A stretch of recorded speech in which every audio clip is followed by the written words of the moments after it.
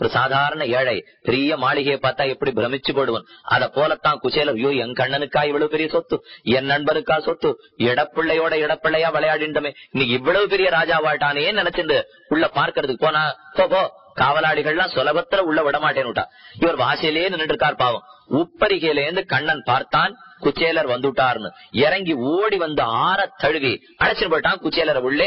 அதோட மட்டும் நிறுத்தல. அவருக்கு பெரிய சிம்மாசனம் கொடுத்து அமர்த்தி அவருடைய கால்களை விளக்கி அவருக்கு கொடுக்க வேண்டியதெல்லாம் கொடுத்து உபச்சாரம் பண்ணி ஒரு விசிறி எடுத்து மெதுவா விசிறி கொண்டு ருப்பணி நீயும் விசிறு. என் மனைவிய வேற ஆணையிட்டு பக்கத்துல காலுக்கு கீழே உட்காண்டிருந்தானா கண்ணன். பார்த்த காவலாளிகளுக்கெல்லாம் ஆச்சரியம் தாங்கல. என்ன நம்ம ராஜா போய் யாரோ ஒரு ஒண்ணுமில்லாதவன் அவன் காலும் கீழே இப்படி உட்கார்ந்துருக்காரே என ரொம்ப ஆச்சரியப்பட்டார்கள். நல்லா பேசிட்டு இருந்தான் கண்ணன். ஆற தழுவினான். அடுத்து குச்சேலர் கிளம்ப வேண்டிய நேரம். இன்னும் வந்த காரியம் ஆளு. வந்தது கண்ணனிடத்திலே பணம் வாங்கி கொண்டு போக. இவ்வளவு தூரம் கண்ணன் தன்னிடத்துல காட்டின அன்பை பார்த்து கேட்கறதுக்கு மனசு வரல. மனசு வருமா? ஒரு நண்பன் தன்னிடத்துல உண்மையான அன்போட நடக்கிறான். உன்னை உனக்காக நான் பார்க்க வரல. நாலு காசு வாங்கிட்டு போறதுக்காக வந்தேன். என்ன சொல்றதுக்கு யாருக்கு மனசு வரும்? உண்மையான நண்பனுக்கு மனசு வராது. ஒருத்தன் நம்ம வீட்டுக்கு வரா ஷோர் எடுக்கிறோம்னா கிளம்பச்சே எனக்கு என்ன கொண்டு வந்தாயின்னு கேட்போமா அப்புறம் ஷோர் இட்டதுல பயனே கிடையாது.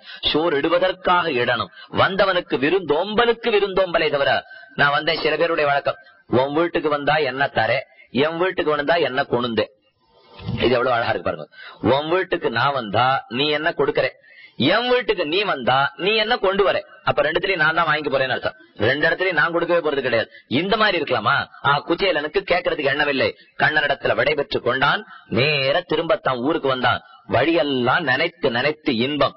என்னை என்னமா நடத்தினான் கண்ணன்? என்னை ஏழை நினைச்சானா? தான் பணக்காரன்னு பார்த்தானா? என்னை ஏழை நினைக்காம வாரி தழுவிக்கொண்டு மடியில் அமர்த்தினானே? என்ன குணம் என்ன குணம் கண்ணனுக்கு? நினைச்சதே தம் வீடு தேடி வந்தா வீட்டையும் காணும் மனைவியும் காணும் பிள்ளைகளையும் காணும். ஐயோ காணமா? எங்க போயிட்டாலும் எல்லாரும் இருக்கார்கள். ஆனா இவன் குடிச வீடு மாளிகையாக. இவன் சாதாரண மனைவி. எல்லா ஆபரணங்கள் நகைகளையும் பூட்டிக் கொண்டு பட்டு பொன்னாடையோடு இவனுடைய ஏழை கந்தலாடை குழந்தைகள் பெரிய பட்டை அணிந்து கொண்டு மாறி போட்டா ஒண்ணுமே புரியல குச்சேலனுக்கு கடைசியில இவன் பண்ணது என்ன தெரியுமா? இந்த கொண்டு போன அவள் ஒரு பிடிய கொடுத்தான் அல்லவா கண்ணனிடத்திலே. அந்த அவள் என்னமோ காணாத சொத்து கிடைச்சுட்டா போலே கண்ணன் மேல விழுந்து இந்த ஒரு படி அவளை வாங்கி எனக்கு என்ன ஒரு படி தானே கொண்டு நாலு படி கொண்ட கூடாதா என்ன குச்சேல நான் பார்த்து காட்டலாம் அப்ப எத்தனை ஆசை கண்ணனுக்கு இருந்திருக்கணும்? இந்த கிழிச துணியை காட்டுறதுக்கு இவருக்கு வெட்கம் பாவம். அதனால மறைச்சு மறைச்சு வச்சுக்கிறார். கண்ணன் மேல விழுந்து கிழிச துணி எடுத்து அதுல இருக்கிற அவளை தான் வாங்கி சாப்பிட்டானா பணக்காரன் ஏழை அவனுக்கு பணக்காரனும் இல்லை ஏழையும் இல்லை. யாரும் ஒன்றாகத்தானே நினைக்கிறான். ஆக காப்பாற்றுகிறான் யானையும் காப்பாற்றுவன் ஏழையும் காப்பாற்றுவன் படித்தவனையும் காப்பாற்றுவன் எச்சாதியனையும் காப்பாற்றுவன். இந்த வேறுபாடு கண்ணன் பார்ப்பதே கிடையாது. நாராயணன் விஷ்ணு எம்பெருமான் ஆக படைக்கிறான்கிறத பார்த்தோம் அவனேதான் காக்கிறான்கிறத பார்த்தோம். பிள்ளை உலகாரி என்கிற பெரியவர் தெரிவிக்கிறார். ஈஸ்வரனை ஒழிந்தவர்கள் ரட்சகர் அல்லர் என்பதை பிரபன்ன பரித்ராணத்திலே சொன்னோம். இறைவன் நாராயணனை தவிர வேற யாரும் காப்பாற்றுவது கிடையாது. அவன் ஒருத்தன் தான் காப்பாற்றுகிறான். என்னொரு புஸ்தகத்துல எழுதி வச்சார் அந்த பெரியவர். என் சுவாமி என் தந்தை என்ன காப்பாத்த மாட்டாரா? என் கணவன் என்ன காப்பாற்ற மாட்டாரா? என் தம்பி என்ன காப்பாத்த மாட்டானா? என்ன நாம நினைப்போம்? அந்த பெரியவர் ரொம்ப வேடிக்கையா கேட்டார். இதை நினைச்சு பார்த்தாலதான் நமக்கே அதுல இருக்கிற உண்மை புலப்படும். அவர் கேட்டார் நீங்க என்ன சொன்னீங்க தந்தை பிள்ளைய காப்பாற்றும். அப்படித்தானே? அப்ப ஹிரண்ய கசிபு பிரகலாதனை காப்பாத்திருக்கலாமே. ஏன் கொல்லணும்னு பார்த்தான் பிரகலாதங்கிற பிள்ளையை ஹிரண்ய கசிபுங்கிற தகப்பனார் விஷம் கொடுத்து பாம்ப விட்டு கடிக்க சொல்லி யானின் யானையின் காலில இடறி இத்தனையும் பாடுபடுத்தினான் அல்லவா? ஏன் அவர் தந்தை தானே பிள்ளைய காப்பாத்துறதானே காப்பாத்தினதா தெரியல. கைவிடப்பட்ட பிரகலாதனை நரசிம்ம பெருமான் தான் காப்பாற்றினான். முதல் உறவாயிடுத்தான். சரி எங்க அம்மா காப்பாத்துவளே. என் தாய் காப்பாற்றுவள் நினைத்தோம். அப்போ கை கை தாய் தானே? பரதன் பிள்ளை தானே? பரதனான பிள்ளைக்கு கை கை நன்னா காப்பாத்திருக்கலாமே. ஏன் இப்படி சடமுடிய வாங்கி கொடுத்து ஊர்கோடியில உட்காந்து வச்சுட்டா கை கை கெட்டதை கொண்டு வந்ததே கை கை தான் பரதனுக்கு கடைசியில. நீ தாயா நீ பேய் என்ன பரதனே ரொம்ப வருத்தப்பட்டு வெய்யற அளவுக்கு அவளை தூற்றுகிற அளவுக்கு போயிட்டல்லவா? தாயும் காப்பாத்துறதா தெரியல. சரி நம்ம அண்ணன் இருக்கார். தம்பியுடையான் படைக்கஞ்சான். அண்ணன் வேற இருக்காரு காப்பாத்துவரேன்னா ஏன்? வாலி அண்ணன் சுக்ரீவன் தம்பி கொல்ல கொல்ல துரத்தி துரத்தி அடித்தான். அண்ணன் காப்பாத்தலாம் இல்லையா? அதே போல விபீஷணன் தம்பி ராவணன் அண்ணன் ஊரை விட்டே விரட்டி அடித்தான். ஏன் அண்ணன் காப்பாத்துறதானே தம்பியை? விபீஷணன்கிற தம்பிய ராவணன் காப்பாத்தினதா தெரியல. அதே போல சுக்ரீவன்கிற தம்பிய வாலிய வாலி காப்பாத்தினதா தெரியல. கைவிடப்பட்ட எல்லாரையும் ராமனும் கண்ணனும் தானே காப்பாற்றினார்கள் ஆக கடவுளை தவிர வேற யாரும் காப்பாளர்கள் ஆக மாட்டார்கள். அப்ப எனக்கு இருக்கிற உறவுக்காரர்கள்லாம் இதெல்லாம் ரொம்ப இடைப்பட்ட காலத்துல வந்த உறவு. ஏதோ கொஞ்ச காலத்துக்கு காப்பாற்றவர்கள். நிரந்தரமாக ஒருத்தரும் காப்பாற்ற மாட்டார்கள். சால பல நாள் உகர்ந்தோர் உயிர்கள் காப்பான் கோலத்திருமாமகளோடு அழ்வார் அழகா சாதித்தார். உயிர்கள் அத்தனையும் காப்பாற்றுபவன் கடவுள்தான். காப்பாற்றுகிறான் வேற எதையும் எதிர்பார்த்தல்ல. தானே ஓடி வந்து செய்கிறான். ஏன்னா மத்த எல்லா உறவும் தாங்களே தான் எனக்கு பணம்னா நாயதான் அவர்களுக்கு பண்ணணும். அப்பதான் எனக்கு கிடைக்கும். ஆனா கடவுளிடத்துல அப்படி கிடையாது. தானே செய்கிறான். இப்ப நாளைக்கு சொல்ல போறேன். நாம என்ன செய்யணும் அவனுக்குன்னு. அதை செய்யறதுக்காக அவன் நமக்கு நல்லது செய்யறது இல்ல அவன் செய்யறத தானே செஞ்சுடுவான். ஆனா நாமா செய்யணுங்கிறது தான் முக்கியம் இப்போ ஆக காப்பாற்றுகிறான் வேறுபாடு இல்லாமல் காப்பாற்றுகிறான்ங்கிறதையும் பார்த்துட்டோம். ஆக இதுவரைக்கும் நம்ம என்ன பார்த்திருக்கோம்? இறைவன் உளன்னு பார்த்தோம் அந்த இறைவன் நாராயணன் பார்த்தோம். அந்த இறைவனுக்கு எனக்கும் உண்டான இன்றியமையாத தொடர்புகளை பார்த்தோம். அந்த இறைவனை நான் மறந்து படுகிற துன்பத்தையும் பார்த்தோம்.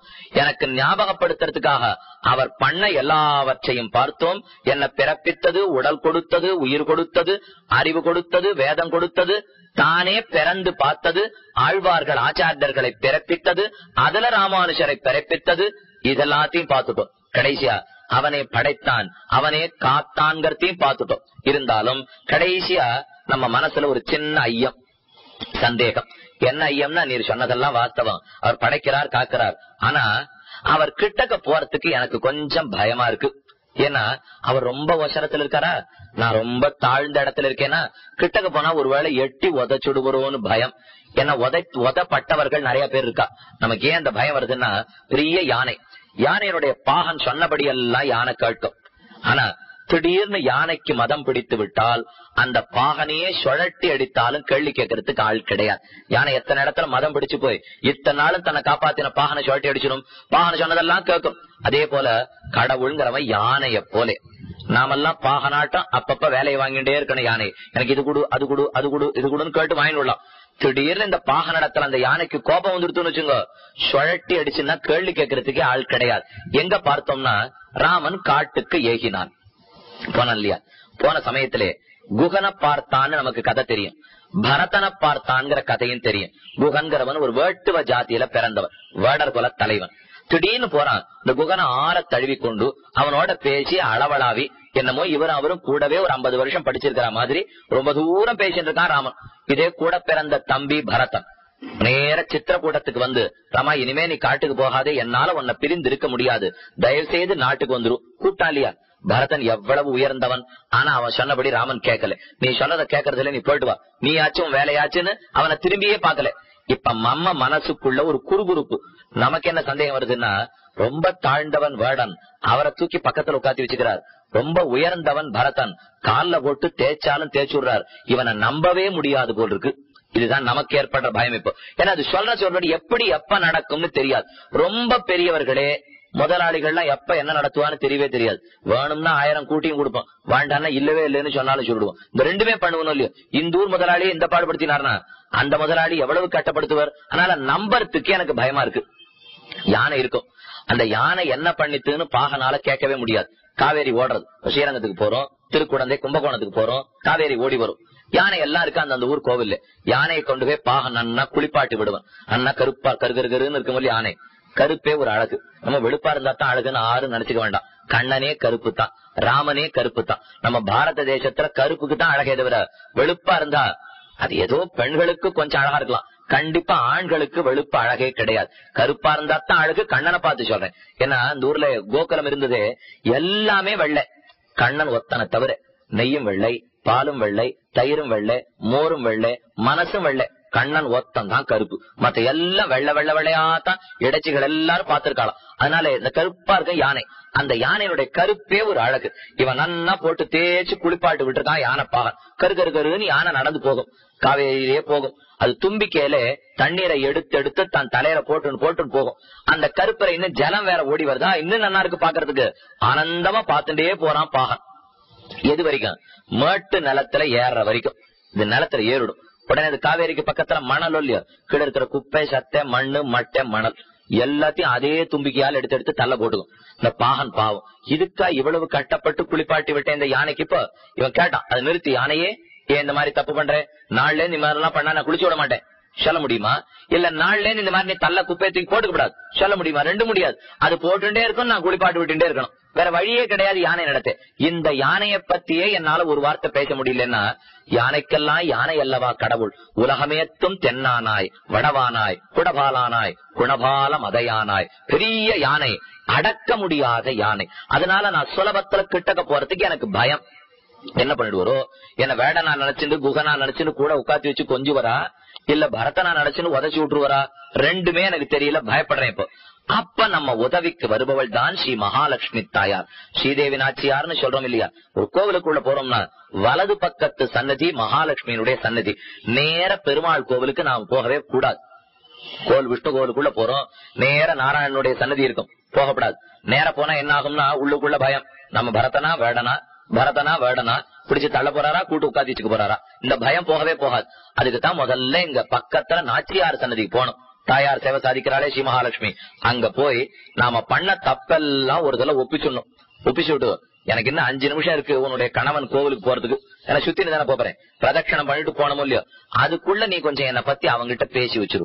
நான் பண்ண தப்பெல்லாம் சொல்லி நான் வரச்சே தண்டனை கொடுக்க வேண்டாம்னு நீ பேசி வச்சிரு. என்ன முதல்ல ஸ்ரீதேவியின் இடத்துல சொல்லிடுவோம் மகாலட்சுமி இடத்தை. அவ அவங்கிட்ட எனக்காக பேச ஆரம்பிக்கிறா. சிபாரிசு பண்றதுன்னு சொல்றோம் இல்லையா? அந்த மாதிரி நம்ம பத்தி பேசுறதுக்கு ஆரம்பிப்பாள் என்ன குழந்தை வரா பாத்துக்கும். தண்டனை எல்லாம் கொடுத்துறாதீங்க. நம்ம பத்தி பேசுவாள் அவருடனே கேட்டாரு அதை எப்படி கொடுக்காத இருப்பேன்? வேதத்துல இன்னென்ன பாவத்துக்கு இன்னென்ன தண்டனை எழுதி வச்சிருக்கேன். நீ சொன்னிய உன் பிள்ளை அத்தனை பாவம் பண்ணிட்டு என் முன்னாடி வரான். அத்தனை தண்டனையும் உண்டு சொல்றார் பெருமாள். உடனே கேட்டா நீர் இந்த மாதிரி பார்த்து பார்த்து பேசிந்தீர்னா உமக்கு கடைசியில காப்பாத்துறதுக்கு ஆளே கிடைக்க போறது இல்ல நீர் தான் கட்டப்பட போறீர். வர்றவனை ஏத்துப்பீரா? என்னமோ இந்த பாவம் பண்ணா அந்த பாவம் பண்ணான்னா உலகத்துல ஆறு பாவம் பண்ணாதவர்கள் எல்லாருமே பாவம் பண்ணவர்கள் தான். பேச ஆரம்பிக்கிறா எனக்காக தாயார். அவர் யோசிச்சார் இது என்ன இவளோட வம்பாப்படுத்த எப்படி நான் வேதத்தை பாக்குறதா இவளை பாக்குறதா இப்போ? வேதத்தை பார்த்தா தண்டனை கொடுக்கணும். இவளை பார்த்தா தன் குணத்தை பார்த்தா தண்டனை கொடுக்க கூடாது. நான் என்ன பண்றதுன்னு புரியல இப்ப பெருமாளுக்கு. அதுக்கு தான் காத்துந்தா இப்ப நாச்சியார் தாயார். மெதுவா கேட்டாலும் நான் வழி சொல்லி கொடுக்கட்டுமா? நான் சொல்லபடி கேட்கறையான்னா கணவன் இடத்துல மனைவி எப்பவுமே பேசச்சே அவரா இதுக்கு என்ன வழின்னு கேட்கணும் அது வரைக்கும் நம்ம வழி சொல்லவே கூடாது. அதுக்குள்ள இவ சொன்னா இது என்ன இவ சொல்றது? நான் என்ன கேக்குறதுன்னு அவனுக்கு தோணி போடும். அதனால இவ பேசாம இருக்கணும். இவர் வருவர் வழிக்கு. இவரா வந்து என்ன வழின்னு கேட்கட்டான் அப்ப சொன்னாதான் கொஞ்சம் தலைக்குள்ள ஏறும். நாச்சியார் பார்த்துட்டே இருந்தா. வந்து கேட்டா இவனுக்கு புரியல. ரெண்டு கட்டானா இருக்கு. இவனை பார்த்தும் முடியல. உன்னை பார்த்தும் முடியல. தண்டனை கொடுக்கவும் முடியல. கொடுக்காத இருக்கவும் முடியல. என்ன பண்றதுன்னு கேட்டான். தாயார் அழகா சொல்லி கொடுத்தா பெருமாளுக்கு. நான் ஒரு வழி சொல்றேனே. எத்தனை தப்பு வேணா அவன் பண்ணிருக்கட்டும். எத்தனை பாவங்கள் வேணா பண்ணிருக்கட்டும். உன் முன்னாடி வந்து சரணம்னு சொல்லிட்டான்னா மன்னிச்சு விட்டுடு. சரணம்னு சொல்லலைன்னா நீ என்னென்ன தண்டனை கொடுக்கணுமோ எல்லாத்தையும் கொடுத்துக்கோ. நான் தடுக்கவே இல்லை. விட்டுடுறேன்னா யோசிச்சு பார்த்தா பெருமாள் இப்ப கொஞ்சம் நியாயமாத்தான் பண்றது எத்தனை பாவம் வேணா பண்ணிருக்கட்டமே. கொஞ்சம் ஐயோ பண்ணுட்டமேன்னு பரிதாபப்பட்டு துன்பப்பட்டு என் முன்னாடி வந்து நின்னு சரணம். நாராயணா சரணம். என்ன ஒரு வார்த்தை சொல்லிட்டான்னா மன்னிச்சு விட்டுடுவோம். அப்படி அதுவும் சொல்லலையா? இவனுக்கு தண்டனை தான். வேற வழியே கிடையாதுன்னு முடிவு பண்ணிடுறான் அப்ப நமக்கு அவன் என்ன பண்ணிடுவனோன்னு பயப்படச்சே. யார் நமக்கு தைரியம் கொடுக்கறா? ஸ்ரீதேவி நாச்சியார் மகாலட்சுமி தாயார். அதனாலதான் ஸ்ரீவன் நாராயணன் திருமால் திருமால்னு சொல்றோம். வெறும் மால்னு யாரும் சொல்லவே கூடாது. மால திருமால். திரு இருக்கிறதுனாலதான் அவனுக்கு பெருமையை தவிர இந்த திரு இல்லாத போயிட்டா நம்ம ஆறையும் அவன் காப்பாத்துறதே கிடையாது. ஆஹ் ஸ்ரீமன் நாராயணன் திருமாலை பற்றுகிறோம். அப்போ நமக்கு கொடுத்த இத்தனையிலேயே சிறப்பான பரிசு எது தெரியுமா? திருவான மகாலட்சுமி தான். அவ தானே எனக்கு எல்லாவத்தையும் அவனிடத்திலிருந்து பெற்று கொடுக்கிறாள். சரி இத்தனையும் அவ பேசி பெற்று கொடுக்கிறாளே? அப்படி என்னதான் கொடுப்பன் அவன்? ரொம்ப நிறைய விஷயங்களை கொடுப்பேன். ஏன்னா ஸ்லோகத்துல முதல்ல என்ன பார்த்தோம்? ஸ்ரீநிதிம் நிதிமபாரம் அர்த்தினாம் அர்த்திதார்த்த பரிதான தீட்சிதம். எதை கேட்டாலும் கொடுக்கறான்னு பார்த்தோம் இல்லையோ? முதல்ல இருந்து பார்ப்போம். ஒரு மனிதனுக்கு முக்கியமான தேவை எவை? ஆற கேட்டாலும் உடனே எழுந்து பணம் அப்படின்னு ஆரம்பிப்பா அதுதான் கடைசி தேவை. அது முக்கியமான தேவையே இல்லை. ஏன்னா அதை வச்சுப்போம். இப்ப பணம் கிட்ட நிறைய இருக்குன்னே பார்ப்போம். முதல் தேவை என்ன தெரியுமா? உடல் ஆரோக்கியம். நல்லா ஞாபகம் வச்சுக்கணும் மனிதர்கள் அத்தனை பேரும். உடம்பு நன்னா இருக்காட்டால் எதை வச்சுண்டு எந்த லாபமும் கிடையாது. சக்கர ஆலை. சக்கர ஆலைக்கு முதலாளியா இருப்பார். ஆனா அவரால ஒரு சிட்டிக சக்கரை வாயில போட்டு முடியாது.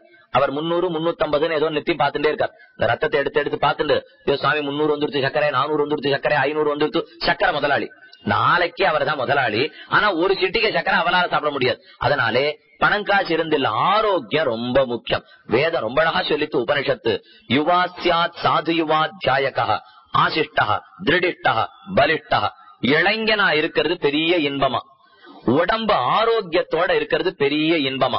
அப்புறம்தான் பணம். வேதம் மூணாவது சொல்லுது. முதல்ல இளமை வேணும். இளமை இருந்துட்டாலே தனி இன்பம் தானே. வயசாயிடுத்துன்னா பேசச்சே சில பேர்லாம் ஆரம்பிச்சிருவா. ஆயிரத்தி தொள்ளாயிரத்தி நாற்பத்தி ஏழுல சுவாமி இன்னைக்குதான் பண்ண முடியுமா சொல்லும் நிறந்துக்கு இப்ப பழங்கதையெல்லாம் பேசிட்டு இருக்கு. ஏன்னா இன்னைக்கு இளைஞர்கள்லாம் அந்த மாதிரி பேச ஆரம்பிச்சிருவா. அன்னைக்கு நான் இளைஞனா இருக்கச்சேன்னு சொன்னா யாருக்கு என்ன பயன்? இன்னைக்குன்னா இளைஞனா இருந்து வேலையை பார்க்கணும். ஆஹ் இளமை இளமைன்னா வெறும் உடலமை இல்ல மனசால இளமையா இருக்கணும். உடம்பு இளமையா இருக்கணும். என்னைக்கும் ஒரு வேலையை செய்யறதுக்கு தயாரா இருக்கணும். அதுதானே பெரிய இன்பம் ஒரு மனிதனுக்கு. இளமையோட இருக்கணும். ரெண்டாவது உடம்பு ஆரோக்கியம் இருக்கணும். இப்ப மணி ஆச்சு. இன்னும் ஒரு மணி சொல்ல போறது இல்ல இருந்தாலும் வச்சுப்போம். இன்னும் ஒரு மணி சொல்றேன்னு வச்சுப்போம். அடுத்து பத்தரை மணி. நம்ம ஏற்பாடு பண்ணிருக்காரு உங்களுக்கு எல்லாம் பிரசாதம் கொடுத்தாரு நல்ல புளியோதரை.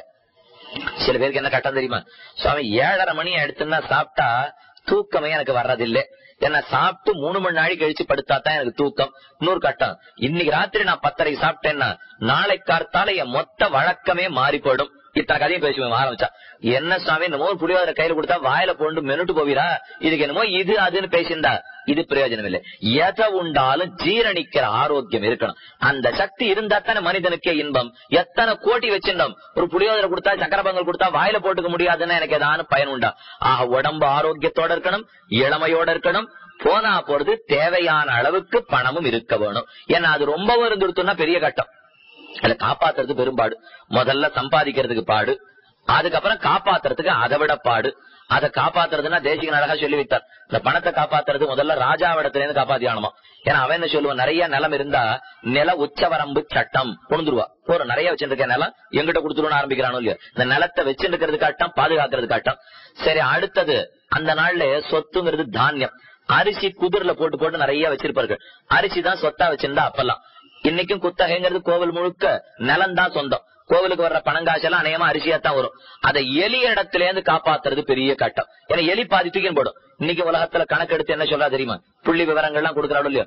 உலகத்திலே எலிகள் சாப்பிட்டுட்டு போற நெல்லை கொண்டு திருப்பி வச்சா உலகத்திலே பசிப்பட்னியால வாடுற எல்லா குழந்தைகளுக்கும் சாப்பாடு போட்டுலாமா? அத்தனை வீணாயிட்டு இருக்கான் எலி சாப்பிட்டு வீணா போறது. வண்டியில இருந்து எடுத்துன்னு போறச்சே வீணா போறது. இதெல்லாம் ரொம்ப சிரமம் காப்பாத்துறது. அதனால தேவையான அளவுக்கு பணம் அவசியம் தேவை. தேவைக்கு மேல இருந்தா அமிழ்தமே நஞ்சாகும் அல்லவா? இன்னொன்னு பணத்தை வச்சுட்டு தான் இன்னொன்னு வாங்கணுமே தவிர பணமே ஒருத்தனுக்கு இன்பம் கொடுத்துறாது. பணம் இருந்தா அதை கொண்டு இன்னொன்னு வாங்கலாம். அப்ப பணம்ங்கிறது படிக்கட்டாகுமே தவிர மாடி ஆயிடாது. நான் படிக்கட்டு ஏறி மாடி போனோம். இப்ப முதல் வகுப்பு ரெண்டாம் வகுப்பு பத்தாம் வகுப்பு பதினொன்றாம் வகுப்பு எல்லாம் ஆச்சு. கடைசியா போனேன். பெரிய பட்டதாரி வந்தேன். ஒருத்தர் சொன்னார் நீ ரெண்டாம் வகுப்பு எதுக்கு படிச்சீர்? பட்டதாரி ஆறதுக்காக நாலாம் வகுப்பு எதுக்கு படிச்சீர்? பட்டதாரி ஆறதுக்காக பன்னெண்டு எதுக்கு படிச்சீர்? பட்டதாரி ஆறதுக்காக உடனே சொன்னார் அங்கெல்லாம் நான் ஏறி வந்தேன் இல்லையா? எனக்கு ரொம்ப ஆசை பத்தாம் வகுப்புல. பட்டதாரி ஆனப்பறம் கொஞ்சம் நான் அங்கேயே உட்காண்டா தேவையில்லை. இதாரான்னு சொல்லுவார்களா? ஏறி வந்தாச்சுன்னா முடிஞ்சு போச்சு அவ்வளவுதான் இப்போ. அதுக்கப்புறம் திரும்ப திரும்ப பாப்போமோ எனக்கு பட்டதாரி ஆறுதான் முக்கியமே தவிர ரெண்டாம் வகுப்பு மூணாம் வகுப்பு முக்கியம் இல்ல அதே போல பணத்தை சம்பாதிக்கிறது முக்கியம் இல்ல அந்த பணத்தை கொண்டு சரியா செலவழிச்சு இன்பப்படணும் இல்லையோ. பணத்தை வச்சு நான் என்ன பரப்பிட்டு தூங்க முடியுமா? பணத்தை சாப்பிட முடியுமா? பணத்தை பார்த்து பார்த்து சிரிச்சுட்டு இருக்க முடியுமா? பைத்தியம்னுவா. பணத்தை பார்த்து பார்த்து நான் சிரிச்சிருந்தேன்னா யாரும் என்ன உண்ணவே ஒத்துக்க மாட்டா. அப்புறம் ஆக இது இத்தனையும் வச்சிருந்தா நான் அனுபவிக்கணும். பணத்தையே இன்பப்படுறதுக்கு என்னால உபயோகப்படுத்தவே முடியாது. இப்ப பணம் இருக்குங்கிறதுக்காக மனைவி குணம் நல்லதாயிடுமா? எனக்கு பணம் இருக்குங்கிறதுக்காக பிள்ளைக்கு படிப்பு வந்துருமா? ஒண்ணும் வராது. ஆக வச்சுண்டு இன்னொன்னத்தை தான் நான் அடையணுமே தவிர அதுவே அடையும் பொருள் ஆகி விடாது. ஆக எம்பெருமான் எதை கொடுக்கறான் நான் கேட்டா? தேக ஆரோக்கியத்தை கொடுக்கறான். என்ன வைத்தியோ நாராயணோ ஹரிகி நாராயணன பெரிய வைத்தியனா சொல்றது சாஸ்திரம். வைத்தியம்னா மருத்துவம் பாக்குறாரு இல்லையா? அவர் தான் பெரிய வைத்தியமா. அவர் என்ன மருந்து கொடுப்பார்? வேற ஒண்ணு மருந்து கொடுக்க மாட்டார் காசு கொடுத்தலாம் இல்ல. துளசிங்கிற மருந்து கொடுப்பார். திருத்துழாய் துளசின்னு சொல்றோம் இல்லையா? பாசனத்தில் அழகா காட்டினார்கள். தாராயினும் தன் கொம்பதாயினும் தார் துளசியினுடைய தார் கிடைத்தாலும் சரி கொம்பு கிடைத்தாலும் சரி வேர் கிடைத்தாலும் சரி இருந்த மண்ணு கிடைத்தாலும் சரி அது நாராயணனுடைய துளசியாக இருந்தால் அதை விட சிறந்த மருந்து நமக்கு கிடையாது. அந்த துளசியே நமக்கு மருந்தாக கொடுக்கிறான் உடல் ஆரோக்கியத்துக்காக. ஆரோக்கியம் வேணுமா? வைத்தியனான நாராயணன் கால்ல போய் விழலாம். அடுத்தது என்ன தேவைன்னு பார்த்தோம் இப்போ? நல்ல படிப்பு. ரெண்டாவது தேவை படிப்பு தானே. பிள்ளை படிக்கணும் நான் படிக்கணும் இவ படிக்கணும் அவ படிக்கணும். இந்த படிப்பெல்லாம் யார் கொடுக்கிறாள்னா? ஹயக்ரீவனான நாராயணன் கொடுக்கிறான். இந்த ஸ்லோகம் படிக்கிற குழந்தைகளுக்கு ரொம்ப முக்கியம். ஞானானந்தமயம் தேவம் நிர்மல ஸ்பட்டிகாகிருத்திம். ஆதாரம் சர்வ வித்யானாம் ஹயக்ரீவம் உபாஸ்மகே. பரீட்சைக்கு போறச்சே ஹயக்ரீவ பெருமாளை போய் சேவிச்சுட்டு போனா கண்டிப்பா நூத்துக்கு நூறு. அதுக்கு படிக்காத போடாதீங்க யாரும் என்ன இவர் ஒருத்தர் வந்தாரு சென்னையில இருந்து நூத்துக்கு நூறு ஹைகிரீவனை சேவிச்சுட்டு போனா கிடைக்கும்னா படிக்கவே இல்லை வர வரலையே நூத்துக்கு நூறுனா கண்டிப்பா வராது. செய்ய வேண்டியதை செஞ்சுட்டு உதவிக்கு அவங்ககிட்ட போனவே தவிர எங்க அப்பாவுக்கு திடீர்னு மார்வலி வந்தது. எப்படியும் வைத்தியோ நாராயணோ ஹரிகி அவர் பாத்துக்கிட்டோம் நான் இவர் ஆஸ்பத்திரிக்கெல்லாம் அழைச்சிட்டு போறதா? இல்ல. அவரே பாத்துப்பார்னு சொல்ல முடியாது. என் கடமையை நான் தான் செய்தாகணும். உதவிக்கு அவர் வருவர்னு பொருளே தவிர நான் செய்யறதையே விட்டுட்டு அவரை எதிர்பார்த்திருந்தா கண்டிப்பா ஒத்தாசைக்கு வரவே மாட்டோம். நான் செய்யறத நான் தான் செய்தாகணும். ஆக நமக்கு ஆரோக்கியமும் வைத்தியனான கண்ணன் கொடுக்கிறான். நமக்கு நல்ல படிப்பு அறிவு வேணும். ரெண்டாவது முக்கியம் அது உடம்பு ஆரோக்கியமா இருக்கணும். படிப்பு வேணும். இன்னைக்கு இந்த படிப்பு இல்லாதனால எத்தனை தேசங்கள் எத்தனை துன்பப்படுகின்றன. இன்னைக்கு நம்ம பாரத தேசத்துல என்ன சொல்றோம்? ஏதோ 45 பேர் படிச்சிருக்கா நூத்துக்கு 50 படிச்சிருக்கா? பாவம் கட்டப்பட்டு மேல தூக்கிண்டே வர. அது நூத்துக்கு நூறு என்னைக்கு படிக்கிறானோ அன்னைக்கு தானே தேசமே உருப்பட்டு போகிறது. அது என்னைக்கு? ஹயக்ரீவனை உபாசித்தால் கிடைக்கும். நாராயணனா ஹயக்ரீவனுடைய அருளாலே படிப்பு நிறைய பெற்றுடலாம். இருக்கவே இருக்கு செல்வம். ஆரிப்பு இல்லைன்னு சொல்ல போற. அதான் மகாலட்சுமி தாயாரையே கையில பிடிச்சுட்டோம் இதுக்கு மேல செல்வத்தை ஆறு இடத்துல போய் நாம கொண்டுட்டு போறோம். செல்வத்துக்கே தெய்வம் அவள் தான் ஆனா அவளே கூட இருக்கிறச்சே செல்வம் கிடைக்காத பட போறதா? ஓம் நமோ நாராயணாயாங்கிற எட்டு எழுத்து இருக்கு இல்லையா? அடியார்கள் எல்லாரும் ஓத வேண்டிய எட்டு எழுத்து. ஓம் நமஹா நாராயணாய. அது எது கொடுக்கும்? திருமங்கியாழ்வார் சாதிக்கிறார் குலம் தரும் செல்வம் தந்திடும் அடியார் படுதுயர் ஆயனவெல்லாம் நிலம் தரும் செய்யும் நீழ்விசும்பருளும் அருளொடு பெருநிலம் அளிக்கும். நலம் தரும் சொல்லை நான் கண்டுகொண்டேன் நாராயணா என்னும் நாமம். குலந்தரும் நான் வசந்த ஜாத்தியில பிறந்துள்ளான். உடனே ஆறும் தப்பா. ஏன்னா வசந்த ஜாத்தியை பத்தி ஆழ்வார் பேசுறாரே? அவர் கள்ளர் ஜாத்தியில பிறந்தவர். அவர் ஒன்னும் பிராமண ஜாத்தியில பிறந்தவரே இல்ல. பின்ன குலம் தரும்னு எதை சொல்லிக்கிறார் தெரியுமா? அடிமை குலம். கடவுளுக்கு நான் அடிமைங்கிற சிறந்த குலம் இருக்கு இல்லையா? அந்த குலத்தை கொடுக்கும். அவனுக்கு நான் நெருங்கினவன்கிறத விட எனக்கு என்ன பெரிய குலம் வேணும்? பக்தங்கிற குலம் அடியான்கிற குலம் குலம் தரும். செல்வம் தந்திடும் நிறைய கிடைக்கும். எத்தனை பாவங்கள் துன்பங்கள் இருந்தாலும் போக்கி கொடுக்கும். வியாதிகள் வராது. உடல் ஆரோக்கியம் கிடைக்கும். செல்வம் தானே வந்து சேரும். எத்தனை அறிவு சேர வேண்டுமோ சேரும். இத்தனை எது கொடுக்கும்? ஓம் நமோ நாராயணாய என்கிற எட்டெழுத்து கொடுக்கும்னு பார்த்தமே இது இத்தனையும் கொடுக்கிறான் எம்பெருமான் ஐஸ்வர்யத்தையும் கொடுப்பன்.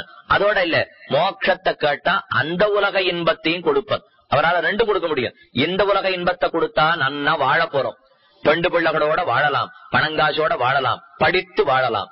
அந்த உலகத்தை செல்வத்தை கொடுத்தா வைகுண்டத்துல போய் இன்னும் இன்பத்தோட வாழலாம். ஆக ரெண்டு உலகத்தையும் எம்பெருமான் கொடுக்கிறான் அல்லவா?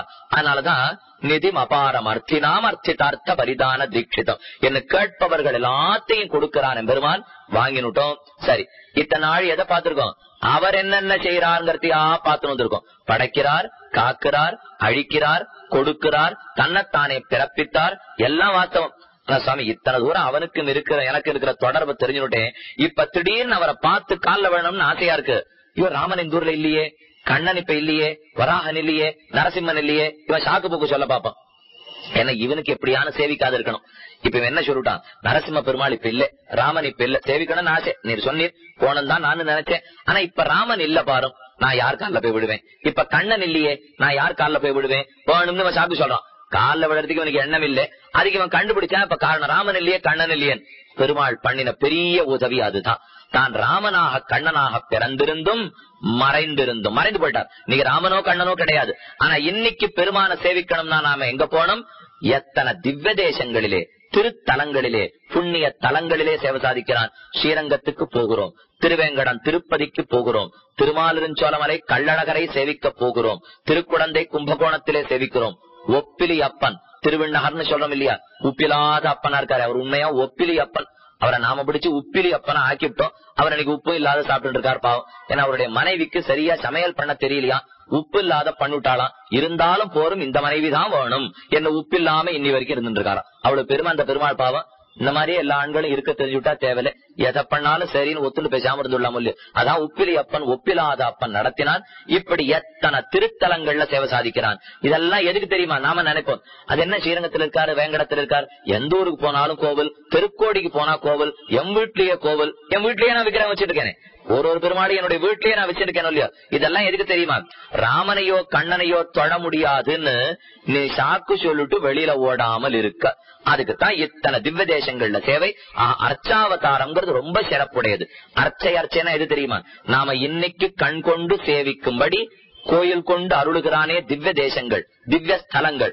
அதத்தான் அர்ச்சை அர்ச்சைன்னு சொல்லுவோம். திருவங்கியாழ்வார் பாடினார் சீரார் திருவேங்கடமே திருக்கோவலூரே மதிழ்கட்சி ஊரகமே பேரகமே பேரா மறுதிருத்தான் வெள்ளரையே வெக்காவே பேராலி தன்கால் நரையூர் திருப்புலியூர் ஆராமம் சூழ்ந்த வரங்கம் பாரோர் புகழும் வதரி வடமதுரை நூத்தி எட்டு திருத்தலங்கள்னு வைணவ தலங்கள் சொல்றமே அது அத்தனை இதுக்கு இருக்கிறது எதுக்கு தெரியுமா? பின்னானார் வணங்கும் சோதி திருமூழி களத்தானாய். ஏன்னா அன்னைக்கு ராமனையும் கண்ணனை இழந்தவர்களுக்காக இழவு கூடாது. இன்னைக்கு அவர்கள் வந்து என்ன அடிபணிய வேணும். அப்படிங்கறதுக்காக இருக்கிறதான் திருத்தலங்கள் அத்தனையும். ஆக கடைசியான நன்மையும் பார்த்துட்டோம். நாம முதல்ல இருந்து பார்த்தது இறைவன் உள்ளான்னு பார்த்தோம்.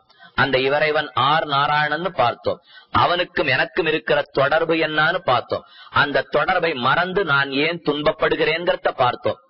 அதற்கு மேலே அந்த தொடர்பை ஞாபகப்படுத்துறதுக்காக அவர் என்னென்ன பண்ணாருங்கிறத எல்லாம் பார்த்தோம். என்ன படைத்தது காத்ததையும் பார்த்தோம். ஆழ்வார்கள் ஆச்சாரியர்கள் ராமானுஜரை படைத்ததையும் பார்த்தோம். எல்லாத்துக்கு மேலே ஸ்ரீ மகாலட்சுமியினுடைய அருளாலே எனக்கு என்னென்ன செல்வத்தை எல்லாம் கொடுக்கிறார் உடல் ஆரோக்கியத்தை கொடுக்கிறார் படிப்பு அறிவு கொடுக்கிறார். எனக்கு தேவையான எல்லா செல்வத்தையும் கொடுக்கிறார். பார்த்தோம். இவ்வுலக செல்வம் மட்டுமல்ல அவ்வுலக செல்வத்தையும் கொடுக்கிறார்னு பார்த்தோம். அவரை நம் கண்ணுக்கு காட்டுவதற்காக திவ்யமான திருத்தலங்களிலே சேவை சாதிக்கிறான் என்பதையும் பார்த்தோம். ஆஹ் இன்னைக்கு முழுக்க நாம பார்த்திருக்கிறது அவர் நமக்கு என்ன செய்கிறார்? எத்தனை செய்யறார்னு தெரிஞ்சுட்டோம் கொஞ்சமான திரும்ப நாமையே தான் அவனுக்கு செய்ய வேண்டாமா அவன் செய்தது எல்லாத்தையும் தெரிஞ்சுட்டோம்னா கண்டிப்பா இதுக்கு நிகரா நம்மால திருப்பி செய்திட முடியாது. அவன் பண்ணிருக்கிறதுக்கு என்னாலே சுவாமி அவர் நூறு கொடுத்தாரு நான் நூறு கொடுத்தேன்னு சொல்ல முடியுமா? அவர் பண்ணிருக்கிறதுக்கு நூத்துல ஒரு மடங்கு ஆயிரத்துல ஒரு மடங்கு லட்சத்துல ஒரு மடங்கு. இதையான செய்ய முடியுமாங்கிறதை நாளைக்கு மாலை பார்ப்போம். இன்னைக்கு மாலை பார்த்தது அவன் நமக்கு செய்தது. நாளைக்கு மாலை பார்க்க வேண்டியது நாம் அவனுக்கு செய்ய வேண்டியது. செங்கன் திருமுகத்து செல்வத் திருமாலால் எங்குமே எல்லோருமே திருவுருள் பெற்று இன்பு அருள் பெற்று வாழ வேண்டும் இறைவனை வேண்டி நாராயணனுடைய அனுகிரகத்தாலே அழ்வாராச்சாரியர்கள் ராமானுஜருடைய அனுகிரகத்தாலே அடியார்களுக்கு ஓம் நமோ நாராயணாய ஸ்ரீமதே ராமானுஜாய நமஹா என்கிற மந்திரங்களின் பலனும் நிறைய ஏற்பட வேணும்னு பிரார்த்தித்து அமைகிறேன்.